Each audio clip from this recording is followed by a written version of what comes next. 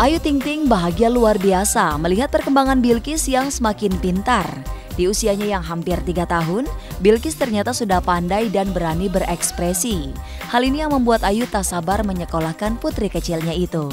Lantas benarkah Ayu sudah jauh hari mendaftarkan Bilkis ke salah satu sekolah?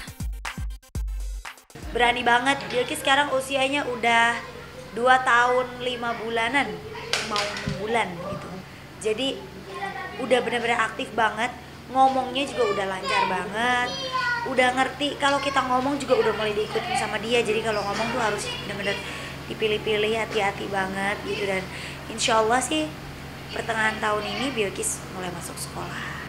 Persiapannya sih udah dari tahun kemarin karena saya daftarnya udah dari tahun kemarin terus ngecek sekolahannya juga udah dari tahun kemarin trialnya juga udah dari tahun kemarin gitu sebenarnya sih pengen dimasukin tahun kemarin cuma nggak bisa karena umurnya Bilkis kan masih nanggung jadi dimasukinnya tahun ini pas gitu Ternyata Bilkis tak hanya pandai berakting dan bernyanyi. Bilkis juga ternyata menyukai tarian balet dan rencananya Ayu pun akan memasukkan Bilkis ke sanggar tarian balet. Kayaknya sih ya, soalnya dia suka nari saya liatin.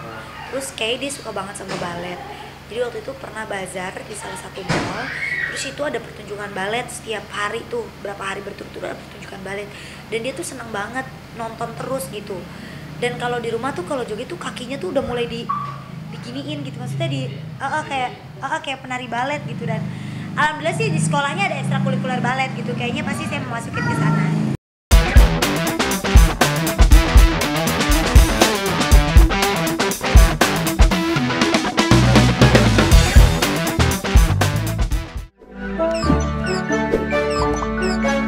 Música